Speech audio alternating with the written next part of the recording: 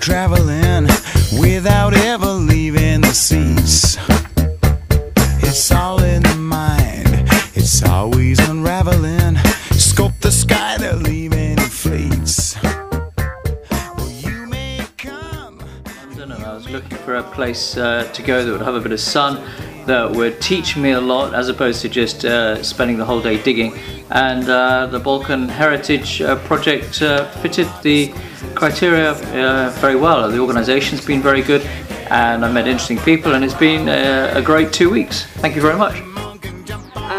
I was really surprised by how much we got to be a part of everything and how um, into the artifacts we got to become involved and, uh, I'm really happy that I decided to come. and my experience has been great from the top down. Um, very well organized. Um, I'm uh, overwhelmingly satisfied with the exposure I've gotten to different uh, skills, um, the processes that go into excavating the site. Um, the camaraderie among team members has been great.